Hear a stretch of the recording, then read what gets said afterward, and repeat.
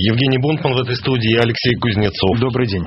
Алексей Кузнецов, как всегда. Евгений Бунтман сегодня заменяет Сергея Бунтмана. И мы сегодня судим Джузеппе Бальзамо, он же Жозеф Бальзамо, он же граф Калиостро. Александр, Александр Калиостро, совершенно верно.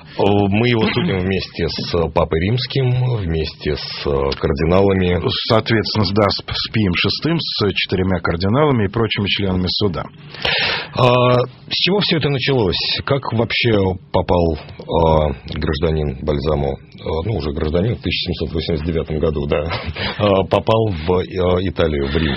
А, вы знаете, значит, ну, во-первых, он к этому времени так успел наследить в большинстве крупных европейских столиц, что ну, у него не так уж много было вариантов для дальнейших передвижений, а они ему были необходимы, потому что тот образ жизни, который он вел, предполагал, что это должен быть крупный город, это должен быть город, в котором много а, состояний, что это город денежный должен быть, это должен быть город аристократический, то есть это, по сути, его привязывало непременно к столицам, эм, потому что в той же самой России, да, Москва, может быть, была и побогаче Петербурга, но вот это необходимость... высшее общество это Высшее общество, крем до крем, да, необходимость в этом лоске и всем прочем, э, привязывала его к Петербургу, что и стало причиной, как и во многих других столицах, его более чем поспешного отъезда, потому что неизбежно, так сказать, он наступал на какой-нибудь не тот хвост. И э, в результате, э, когда его э, попросили из Франции, а из Франции его попросили, ну, у него были там покровители и достаточно влиятельные, собственно, наиболее крупный, наверное, кардинал Роган, но то, что Калиостро, у нас об этом целая передача была, была, оказался замешан в деле о Колье, Колье да, в деле о, о королевских бриллиантах, хотя он там прошел, в общем, краешком.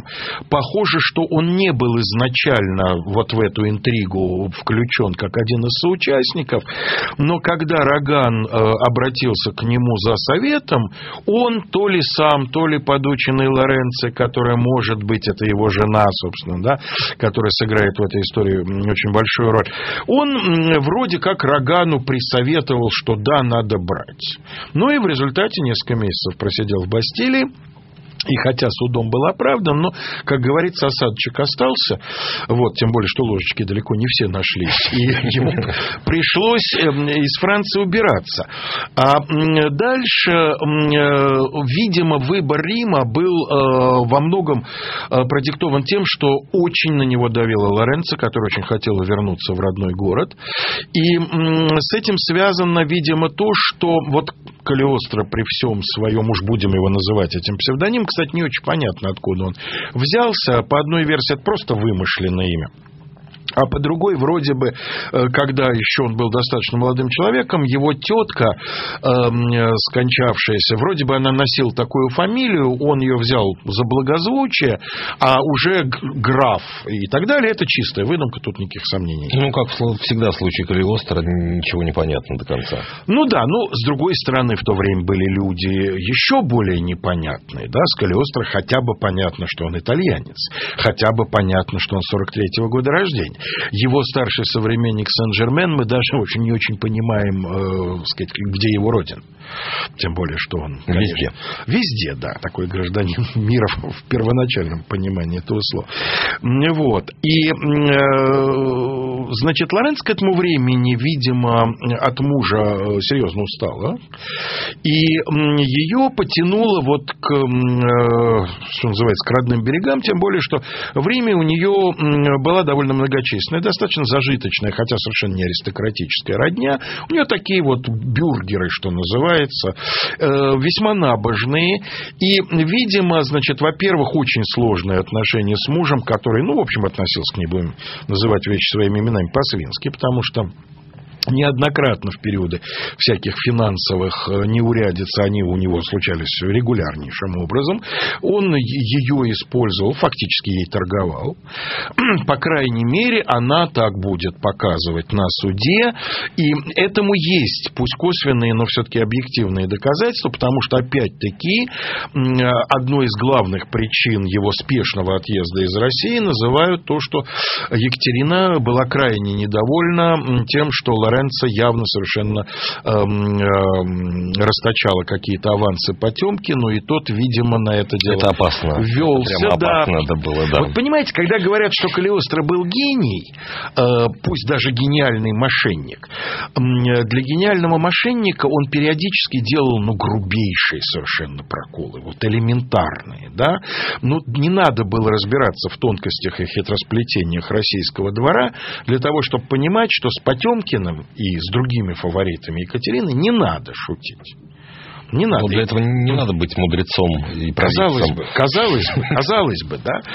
Точно так же, как, э, вот, собственно, к теме уже непосредственной нашей передачи, э, не надо было быть мудрецом для того, чтобы понимать, что не надо в ситуации 89 года лезть в самое-самое католическое логово, потому что, конечно, это период значительного устражения э, всего в связи с начавшейся французской революцией. Но, тем не менее, он э, в это время, позиционирующий себя как основатель нового масонства, лезет в э, вечный город, э, правители которого за предыдущие полвека дважды издавали специальные буллы против масонства. Ну, забегая вперед, во время судебного процесса, насколько я понимаю, он как раз и говорит об абсурдности обвинений, потому что, ну что я, грубо говоря, дурак, чтобы лезть в Рим и тут устраивать масонский заговор. Вы понимаете, дело в том, что он 100 сколько раз на протяжении этого очень длинного процесса, ну, напомним, что э, суд длился 11 месяцев, 43 заседания было проведено, значит, э, с довольно большими иногда перерывами, возобновлялось следствие, велись допросы, он очень часто менял показания, потому что вот то, что вы упомянули, только одна из его линий защиты. А другая... Почему его... говорил, что он добрый католик и поэтому поехал в Рим? А еще он говорил, что то масонство, которое он основал, оно как раз католическое масонство, это правильное масонство, да? Дескать, есть еще один Юрий Милославский, да? Вот что, дескать, то масонство, которое такое полуатеистическое, а вот он как раз собирался вернуть масонство к истинной вере. И дело в том, что в... Что по... ухудшило его, в общем, положение на процессе. Ну, трудно сказать. Дело в том, что помощь ему были заключения трех видных э, французских священнослужителей. Э, кардинала Рогана и двух архиепископов, которые очень покровительствовали. Но, видимо, опять-таки все, что исходило из Франции, тем более, что кардинал Роган был избран в те самые генеральные штаты mm-hmm. по квоте духовенства, и хотя он совершенно не был рад этому обстоятельству, но принял участие в их работе, видимо, это действительно трибунал настораживал еще больше и больше, потому что, безусловно, в Калиостро видели в том числе и агента э, французской революции. А, давайте, наверное, сначала самого процесса а, с того, как как и почему э, правоохранительные органы Папской области заинтересовались э, Вы знаете, вообще Калиостро, сказать, когда они им заинтересовались, однозначно нельзя, потому что есть версия, что его вели, что называется, еще от французской границы в Швейцарию, а потом из Швейцарии в, в Италию, эм, что к нему уже был представлен агент, потому что вот человек, которого Калиостро нанял как своего личного секретаря, такой э, монах францисканец, францисканец, видимо, уже к этому времени вышедший из ордена, а может быть, вышедший для виду, потому что, как известно, бывших францисканцев не бывает, да? такой отец Рулье де Сен-Марис или Сан-Маурицио, как он станет называть себя, когда они окажутся в Италии, он, безусловно, будет агентом инквизиции, но вот с какого момента не очень понятно. То есть, изначально он был подставлен, uh-huh, uh-huh, или uh-huh. его завербовали уже, когда он уже, уже был секретарем Калиостро, но так или иначе, вот явно совершенно его еще до границы уже приняли под такое особое внимание. Э, а дальше все усугубляется тем, что вел он себя в Риме крайне неосторожно за те полгода, что он время находился на свободе. Поселился чуть ли не на площади Испании. Он поселился там разные, есть версии, да, причем одни говорят, что в Трастевере он поселился, другие, что на Пьяцца Испания, а это надо понимать, что это практически через весь город, если брать старый э, Рим. Э, вот, но он действительно обставил, э, значит, квартиру в совершенно таком восточно-фантасмагорическом, с чучелами крокодилов и так далее. Трон там, по-моему. Трон был, да, значит, Значит, была специальная потайной ход, из которого появлялась Лоренцо, но это уже отработанный был такой вот прием. И э, он начал э, вербовать людей вот в эту самую масонскую ложу, главой которой он был, египетское масонство. Он утверждал, что он сумел проникнуть э, внутрь пирамид, которые тогда еще, напомним, были, так сказать, ну, по крайней мере, э, официально не... не, не... Ну, египетского похода еще не было. Не было, да. конечно, не было изучения. 10 лет, да. Вот, что вот он, значит, якобы там общался с тенью Трисмегиста и так далее, ну, обычно. Вообще, это был просто человек-оркестр. Это был человек фантастический эм, в плане эм, тех тонн макаронных изделий, которые он обрушивал на э, слушателей. Видимо, он обладал феноменальной памятью, потому что вот хотя бы э, для того, чтобы просто-напросто запомнить все вот это вот. Да, Имена. Да, хотя бы требовалось невероятное и умение импровизировать, и, конечно, фантастическая память. И э, он, э, поскольку они опять остро с Лоренцо нуждаются в деньгах, ну, это самое обычное их состояние, значит, он начинает э, вербовать сторонников в ложу, а в Испании, э, простите, в Италии, в это время масонство и раньше было запрещено вот теми самыми папскими буллами, но тут начинаются уже конкретные гонения, э, и во многом это связано с тем, что в масонах опять-таки видят французскую агентуру. Угу. И, э, Французская революционная агентура. Французскую революционную агентуру к концу 89 года такая антирелигиозная направленность уже очень чувствуется в французской революции. Она еще не дошла до своего пика, да, но, в общем, так сказать, вносится в воздухе это все. И, э, значит, э, э, находит всего несколько человек, э, причем, вот опять же, к вопросу о гениальном Калиостро, который там все видел на 5 метров под землю через бетон, он находит двух людей, которые демонстрируют, э, показывают, что они люди богатые, и просят вступить в его ложу, но вот хотят быть сразу мастерами то есть минуя стадию, угу. так сказать, учеников и подмастерьев. Он им намекает, что можно, да, можно, но вот просит продемонстрировать, так сказать, деньги. Ему показывают перстень с огромным совершенно бриллиантом, он проводит процедуру, причем процедура это совершенно фантасмагория, потому что он там шпагой касается плеча, ну, то есть полная смесь из рыцарских романов и всего, чего можно. Вот, и, значит, называет их э, этими самыми мастерами вот э, египетского вот этого самого масонского ритуала, а затем э, один просто уходит, не заплатив, а другой оставляет ему вот эту самую, э, вот это самое кольцо с бриллиантом, и буквально дверь захлопнулась, а Калиостро уже понимает, что стекляшка. Он в результате ее просто каблуком растоптал. Поразительно, конечно. Вот где он? Где, где его великая, так сказать, проницательность, знание людей и так далее? То, что жадность все затмила. Но, в общем, одним словом, эм, э, а слухи-то, естественно, ходят, тем более, что он сам эти слухи подогревает, и это он делает в каждой столице, куда он приезжает, эти его знаменитые слуги, которые один рассказывает, что он уже 600 лет служит. Ну, собственно, это войдет даже в формулу любви. Угу, угу. Фильм, который, конечно, ассоциируется у нашего зрителя с Калиостро. И, э, а другой там рассказывает, что он был нанят в Древнем Египте и прочее, прочее, прочее. То есть Калиостро не мог без вот этой помпы вокруг себя. А в той обстановке это все больше и больше наводит на подозрение. И э, в конечном итоге, эм, э, значит, видимо, ключевым моментом э, становится предательство Лоренцо. В какой именно момент оно произошло, тоже не очень понятно.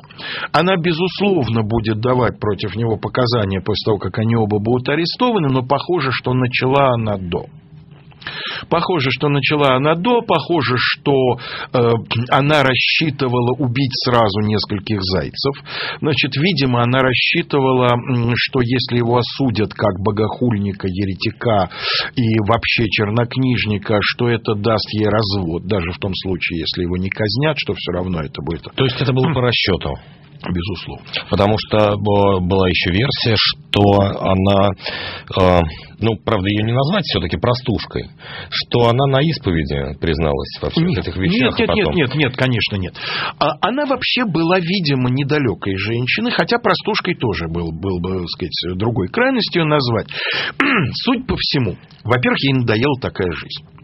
Вот это постоянное ну, из, из огня до в полымя, постоянная необходимость в любой момент быть готовым, там, бросив все налегке, бежать и так далее, э, постоянный риск тюрьмы, ей это надоело. Плюс эм, она была уже не молода, и ей, видимо, хотелось устроить, но поклонники пока были, э, пока она, в общем, еще пользовалась достаточно большим успехом, возможно, она надеялась на то, что она еще успеет устроить свою жизнь с другим человеком, так сказать, богато, спокойно и ровно. Кроме того, не исключено, что у нее какие-то религиозная какая-то совесть проснулась, э, может быть, под влиянием семьи, может, под влиянием, так сказать, мысли о о том, что будет после и так далее. Но в любом случае она, видимо, рассчитывала от него избавиться. Таким образом, понимаешь, просто так. Он ее, видимо, любил по-своему. По крайней мере, в тюрьме он очень, пока он не узнал, вот пока на процессе не стало понятно, что она его предала, он очень по ней тосковал, он там забрасывал своих следователей просьбами устроить свидание угу. и так далее. То есть, по-своему, он к ней, видимо, был, так сказать, может быть, как к вещи, как к игрушке любимой, но э, привязан. И второе, что, на что она рассчитывала, она, видимо, рассчитывала на отпущение грехов и возможность начать жизнь, ну, хотя бы в религиозном смысле, с чистого листа. В-третьих, не исключено, что она получала за это какие-то деньги. То есть она работала на свое будущее. Она же не знала, что его у нее нет. Да? Видимо, этот вопрос будет решен только в ходе процесса. Вполне возможно, что рассматривалась такая версия, что ей, как говорится, что она пойдет по программе защиты свидетелей, да? выражаясь современным языком. Но было перерешено все-таки в пользу, что ее тоже надо изолировать. Вот. А в чем его обвинили? Взяли его перед самым Новым годом, его взяли 27 декабря 89 Ночью, года. Ночью. Положено. Ночью он ожидал в это время значит, э, очередного клиента, которому собирался морочить голову. По романтической версии это была даже клиентка, переодевшаяся в, гусарский, э, в гусарскую форму. Но так или иначе он выпрыгнул из окна, пытаясь бежать, но все было хорошо подготовлено, он был немедленно схвачен. Ему предъявили 103 пункта обвинения. Но если вот их группировать в современных терминах, они сводились к трем группам. Во-первых, это ересь. Значит, сразу надо Ересь сказать... в чем заключалась? Ересь заключалась в мелочах. В общем, на самом деле, как я понимаю, обвинение в ересе было необходимо для того, чтобы э, не было сомнений в правомочности именно инквизиции этим делом заниматься. Ну, там потому что допросы вполне себе средневековые, когда его спрашивают, а э, перечислите, пожалуйста, э, подсудимые семь смертных грехов, он перечисляет пять. Ну, ведь как он выкрутился здорово выкрутился, с этим, да. Выкрутился. Он перечисляет, перечисляет пять. Забывает говорят, ну, ну какой вы христианин, да, если вы не можете перечислить, ну как же, я специально не перечислил гнев и гордыни, чтобы вас не обидеть. Чтобы не, оскор... не оскорбить, да. да, так сказать, высокий трибунал этим, этим упоминанием этих страшных грехов. Это очень остроумно было, конечно. При том, да. что гнев и гордыня действительно два наиболее тяжких, то есть тут он мог так. Он, конечно, был очень находчив, но э, периодически уже... На память, как мы уже говорили, не жаловался, поэтому он... Не жаловался, не ну вот смотрите, всех. интересный момент, поскольку это действительно инквизиционный трибунал, вы правы, абсолютно средневековый, э, его просят несколько раз во время процесса для того, чтобы доказать, что он добрый христианин, прочитать различные молитвы, причем самые такие обычные. А он очень многословно уворачивается от этого. Похоже, что он их Зачем? Не, не помнил он их.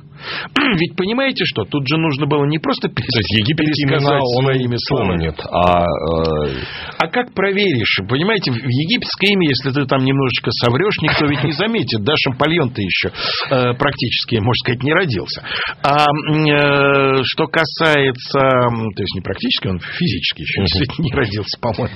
Вот. А, а что касается э, молитв, ведь инквизи... в суде инквизиции скази одно слово. Не отмоешь продержится до конца короткой жизни. Поэтому он, видимо, понимая, что он не сможет их произнести правильно и без запинки, вот он таким образом... Лучше вообще не произносить, лучше чем произносить ошибку. Да, совершенно верно. В этом он, видимо, был прав. Потому что то, что он как-то уклонился, это одно, это не прямое. А вот если он э, запутается в тексте, это будет уже, конечно, с точки зрения инквизиции абсолютно прямо. Но главное, конечно, никакой ереси всерьез там не было. Ему инкриминировали именно то, что он не добрый христианин, что он не бывает у исповеди, что он, соответственно, не причащается, что он вообще там в церковь практически не заходит. Ну, то есть его признают христианином при этом? А, ну, Или безбожником? Э, нет, дело в том, что он же очень быстро начнет каяться. И раз он кается, он уже не безбожник, да? И хотя он периодически будет брать назад, а потом опять кается и кается в разных вещах, но все-таки вот та тактика, которую он выбрал еще на предварительном следствии, когда он начинает каяться и говорить, да меня неправильно поняли, а потом он говорит, да нет, это я неправильно понял, вот вы, святые отцы, мне разъяснили, вот теперь я свет истины узрел, вот теперь я понимаю, как все было неправильно и так далее. Эта тактика не позволяла его выставить запирающимся еретиком. Сейчас а, я предлагаю, у, нас э, как раз перед серединой часа, предлагаю м, суд присяжных пока Ну, давайте, и да. И вынесет вердикт, потому что уже такое предварительное обвинительное заключение у нас есть. А, мы вам предлагаем не виновен или не виновен а, Жозеф Бальзамо, он же граф Калиостро. Да, очень трудно определить, да. с какой стороны. А, а предлагаем два варианта, по какой статье его судить. Если... Надо было бы, да, надо было бы. Вот вы будете собственно, судить. А, если вы считаете, что он еретик, чернокнижник и безбожник, 660 0664. То есть убежденный, убежденный, а убежденный чернокнижник. Да. А, еще раз, убежденный еретик и чернокнижник. Граф Калиостро. 660 0664. Если вы считаете, что он мошенник, просто мошенник, и судить его надо за мошенничество и ни за что иное. Злоупотребление доверием, да. 660 0665. Начался подсчет ваших голосов. И, наверное, скажем, что мы объявим результаты где-то в 48-49 минут. Да, еще раз. 660 Время 64, если вы считаете, что он убежденный чернокнижник э, и еретик, э, и безбожник, соответственно. Э, и 660 0665, если вы считаете, что он мошенник. И мы вернемся к вам после новостей. Продолжаем с Алексеем Кузнецовым предъявлять обвинение графу Калиостро, или как бы его ни звали. Да, ну, Джузеппе Бальзамо, конечно, или Бальсамо, э, вопрос произношения. Значит, э, так что он... С ересью, с да. ересью, ересь там была в основном именно как бы вот его отпадение от церкви и так далее. А э, второе и главное, как вы правильно совершенно заметили, обвинение, это вот создание масонства на что он будет несколько линий в разные э, периоды процесса, и то, что это правильное масонство, и то, что это, сказать, и то, что он э, раскаивается в том, что он заблуждался, что он неправильно был понят или сам неправильно понял, и так далее, и так далее. Ну и третье, эм, э, так сказать, довеском, что называется, поскольку важно было его дискредитировать э, еще и лично, эм, э, чтобы из него потом не получилась невинная жертва, да, этих самых мракобесов, ему предъявили целый набор всякой уголовной мелочи. Э, такой действительно чисто уголовный, то есть эм, мошенничество, Непристойное поведение. Непристойное поведение, подлоги. Вот все, собственно говоря, чем он эм, подкреплял э, свое существование. Там чудесное одно из обвинений, э, которое связано одновременно и с ересью, и с непристойным поведением, когда его обвиняли в том, что он снял распятие из комнаты, оскорбив тем самым чувство верующих, uh-huh. а, то, то есть своей супруги, а, которым там в основном оскорблял ее это чувство верующих, а, и заменил его а, зеркалом, то ли рядом с кроватью, то ли mm-hmm. над кроватью а, как написано было, это непонятно его была цель этого зеркала, хотя как раз там как все совершенно очевидно. Ну да. Ну, надо сказать, что тема распятия его не покинет до самой смерти, когда уже в тюрьме он будет э, ревностно, значит, э, раскаиваться и всячески. Он напишет специальное прошение о том, чтобы распятие из папье-маше, которое из соображений безопасности в его камере висело, заменили на настоящее деревянное. По этому поводу случится целая, так сказать, переписка, и в результате будет отказано. То есть скажут, что ничего, нормально, ему и перед папье-маше будет неплохо.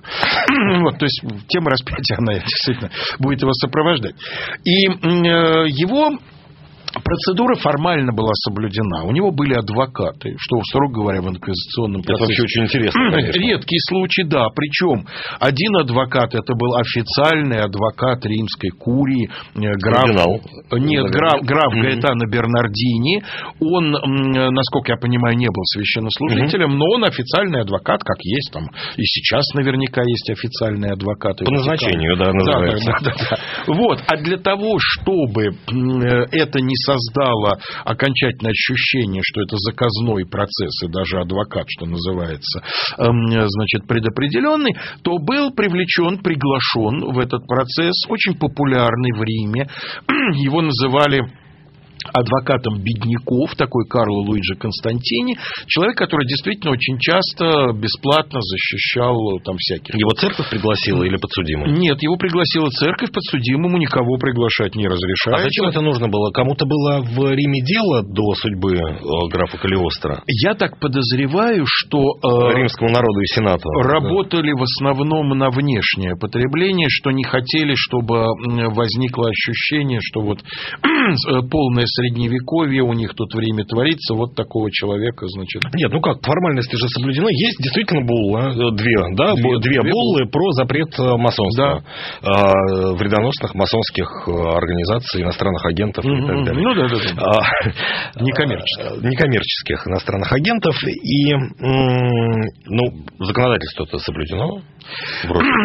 вот а зачем еще адвокатов? Видимо, думали над пиаром, что, опять-таки, раз мы так на, на современные термины совсем скатились, был очень яркий прокурор, некто Джованни Барбери, и, судя по всему, именно он является автором книги, которая стремительно по окончании процесса появилась. Видимо, он ее готовил в течение всего этого длинного суда. Жизнеописание Джузеппе Бальзама, которое до сих пор, в общем, является одним из главных источников о его жизни, которым которым, я имею в виду жизнеописанием, пользовалось огромное количество авторов. Дюма. Да, там на самом деле, если перечислить только самых основных, кто писал о Калиостро, э, ну, Дюма, ладно, Дюма это понятно, да, мошенники, э, авантюристы, это его, что называется, профиль, но им всерьез интересовался э, Владимир Соловьев. Напомним, не тот, который сейчас, да? Сын Сергея Михайловича Соловьева. Значит, им интересовался Михаил Кузьмин, который трехтомную написал, да, угу. так сказать, книгу о Калиостро. Э, им интересовались э, множество вот на рубеже 19-20 века, когда очередной такой вот всплеск в Европе всплеск мистицизма и всего прочего, вот это ощущение. Новые розенкрейцеры. Розенкрейцеры вот новые, да, ощущение надвигающейся этой Первой мировой войны, о котором так многие писали, тот же Блок замечательно писал, да. Вот в этом во всем вот эта фигура Блаватская очень серьезная интересовалась. Она была сторонником как раз. Причем Блаватская как раз разбирала и процесс в том числе. Все, Блаватская. Но Блаватская была абсолютно изначально убеждена в том, что э, вот святого человека затравили. То есть она его горячая сторонница. Вот что странно при, все, при всей ее такой общей настороженности ко всему. Ну вот... Э, Вообще мистики друг друга не любили, как правило. Безусловно, да, да. Ну а вот здесь вот она совершенно вот его горячая горячая поклонница Блаватской. И э, вот, судя по всему, автором этого документа был человек, не документа, а этой книги был, был человек, который был, собственно, главным обвинителем на процессе Барбери. И э, был э, вынесен в конечном итоге приговор. Поскольку, э, он был приговорен, несмотря на свое раскаяние, но поскольку это раскаяние несколько раз бралось назад и так далее, значит, он был приговорен к публичному сожжению, но все все с учетом раскаяния, для того, чтобы дать шанс и так далее, оно было заменено на пожизненное заключение, а публичному сожжению были подвергнуты многочисленные материалы, которые были при аресте и обыске конфискованы. Это и различные книги, это и какие-то предметы ритуальные и прочее, прочее, прочее. Вот, так сказать, был такой э, костер. Ну, сожжение все-таки к этому времени не очень практиковал. Не очень. Там, там да. был мораторий, да. На, ну, как сказать, такое. Э, на самом деле в XIX веке ведь будет сожжено в Европе несколько человек. Не уверен, в Риме не могу сказать точно, в Испании будут сожжены. Э, значит, ну, и... в Папской области просто к тому времени, к времени окончания процесса не так много осталось э, уже жить, как в Папской области. Ну да, да, да. Э, значит, ну как не так много, но все-таки нет, но она же потом восстановится, да, в известном смысле, после наполеоновских-то дел. Значит, э, в, э, в костре горели вот эти вещи, а сам э, Калиостро публично приносил покаяние и так далее, после чего он был направлен в крепость Сан-Лео, где он в течение вот последующих пяти лет и будет жить. И а когда судили его, он был в замке Сант-Анджело. Сант-Анджело, да, знаменитый, все время знаменитый да, замок, построенный изначально папой Александром VI Борджа с совершенно другой целью, как укрытие, папа прекрасно, Которое пригодилось. прекрасно понимал, что когда-нибудь ему придется бежать, так сказать, от возмущенных э, согорожан, да, и сограждан. Ну, то есть это очень торжественное место, да, это даже да. более торжественное торжественное, чем Бастилия, место для, а, для правосудия. Такое. Надо сказать, что Калиостро, который очень ругался по поводу условий содержания в Бастилии, посидев да, в Сан-Анджело... у него там в матрасе жили. Да, да, да, да, да, вынужден будет пересмотреть и сказать, что вот это были цветочки, а на самом деле... Вот. Да, и отправили его в Сан-Лео. В Сан-Лео, где его поместили э, в камеру очень необычной конструкции, где не было двери в нормальном смысле этого слова, где вход был, по сути, через крышу, там четыре слоя решеток и так далее. Такой каменный мешок. Каменный мешок, ну, хотя он был нормальной э, площади, но э, действительно вот малейшие его ходатайства, они тут же порождали переписку, то есть явно местное начальство очень боялась э, не потрафить, э, что называется, Риму.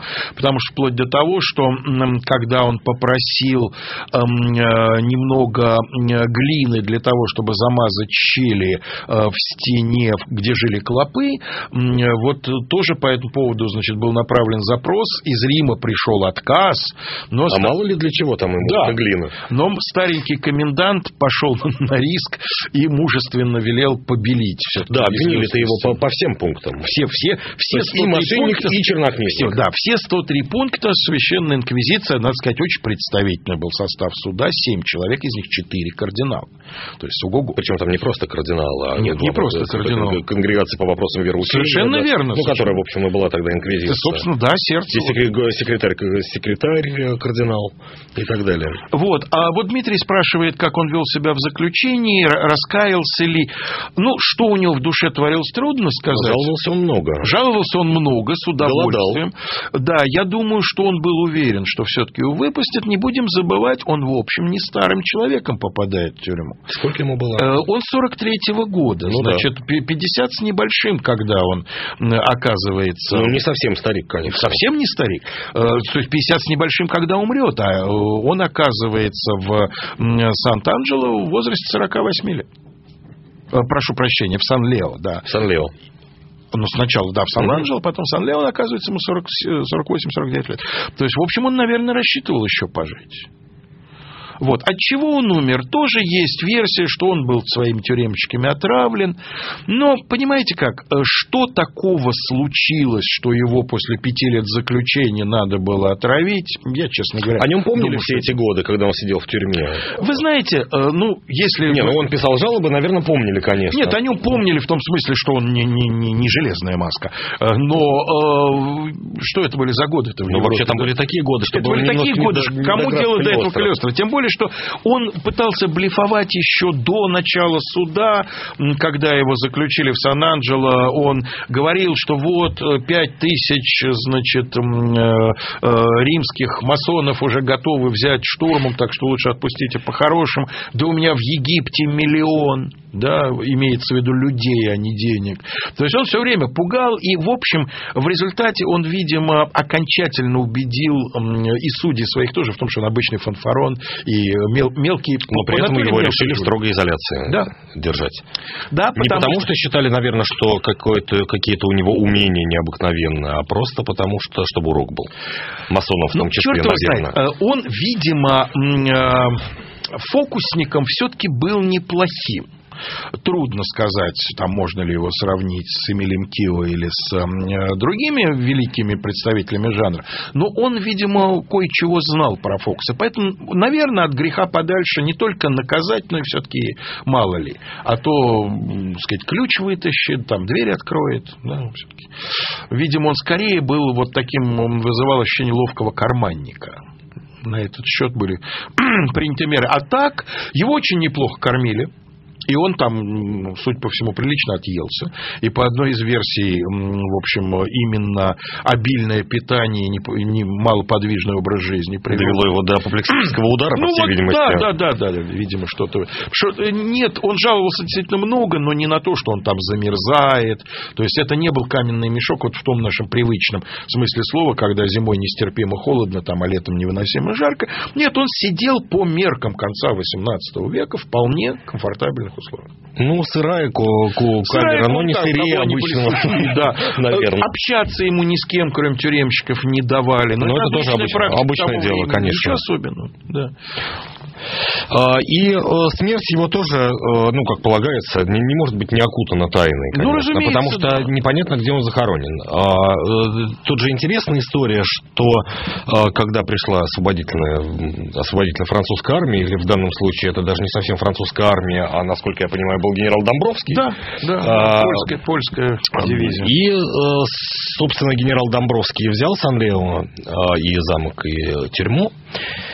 И э, потом вроде бы заключенные откопали останки графа Калиостро, и где-то их закопали, где непонятно. Только его самые преданные э, адепты учения знают, где Ну, точно. понимаете, это тоже обязательный, почти обязательный элемент вот такой Но ну, как еще, да? конечно. Потому что, знаете, э, людей, которые еще полвека делали многозначительные глаза и говорили, что слухи о смерти графа Калиостро сильно преувеличены, да, перефразируя Булгакова, вот, они, конечно, были, понятно, что вот это представление о том, что на самом деле Калиостро не умер, что Калиостро на самом... Ну, это сопровождает любую такую вот окутанную э, всякими туманами фигуру. Наверное, время выносить вердикт. А, мы останавливаем голосование, которое продолжалось э, все это время, и там достаточно однозначный вердикт. 90% решили, что максимум, за что можно судить э, графа Калиостро, Жозефа Бальзамо, Джузеппе Бальзамо, Бальсамо, а, это мошенничество. И 9 э, целых и 8 готовы были судить его за ересь, чернокнижие и безбожие. Ну, я присоединяюсь в данном случае к большинству. Он, конечно, был мошенник. Он был мошенник с размахом, не бесталанный, безусловно. Опорочили, в общем, светлой очень, памяти. Очень наглый, да, да, во всех смыслах этого слова. Но вот такой, знаете, карнавальный, я бы сказал. Э, то, что мне как раз очень нравится, то, что сделал Горин э, с повестью, довольно серьезной повестью Алексея Толстого, вот, э, вот мне кажется, что формат формулы любви, он очень подходит этому человеку. А, веселый, там временами загадочный, но да, все, все-таки да, в, первую, да, в первую очередь веселый. Хотя конец, конечно, у него был не веселый. Не веселый. Графа Калиостро это достаточно, достаточно печальная участь для человека, покорявшего своим обаянием и э, своим талантливым мошенничеством европейские столицы. Практически это все, правда. все он покорил.